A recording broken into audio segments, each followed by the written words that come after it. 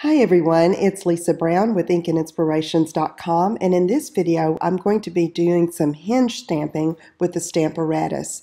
I'm starting off with the Biggest Wish stamp set and I've cut my piece of basic white a little larger than I need uh, going by the size of that stamp.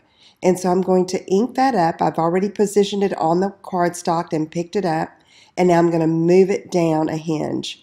Stamp again and move it down stamp, move it down. It's just so easy to do, and it's lining up a repetitive sentiment all the way down that basic white cardstock. So now I want to stamp over with the cursive hello or the script hello. So I'm positioning it, picking it up with the Stamparatus plate, inking that up in a different color, and stamping and moving the hinge down one at a time, just as I had done previously. So this is fun to do. You can skip two hinges if you want. You just have to have your cardstock cut accordingly. But I knew what I wanted the finished card to look like, so I started off with about a two and a half by five piece of basic white.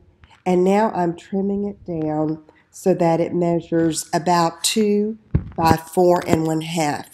And I have already cut my background layers, so I know how long this needs to be or how tall. So I'm going to just cut off some of this excess and get it as close to that four and a half as I can.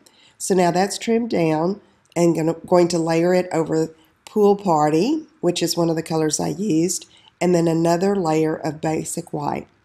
So now I have a Pool Party base that I'm folding in half and giving it a good crease with a bone folder, some of our hand-penned designer series paper, and our Pale Papaya open weave ribbon and I'm tying that around the designer paper before I ever anchor that down to the card front.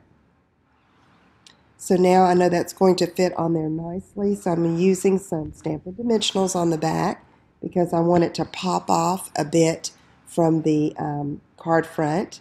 So I'm centering it there, and next all I have to do is put glue behind the whole sheet, and there we have a finished card.